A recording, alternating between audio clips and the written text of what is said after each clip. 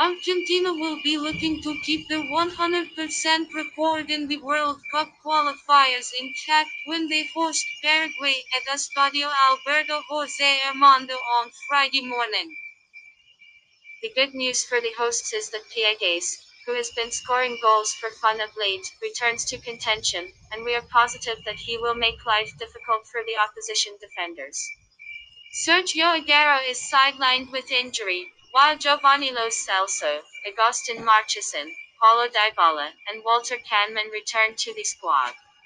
Roberto Pereyra is yet another new name in Scaloni's squad. As always, Leo Messi will be the man to watch in the home team.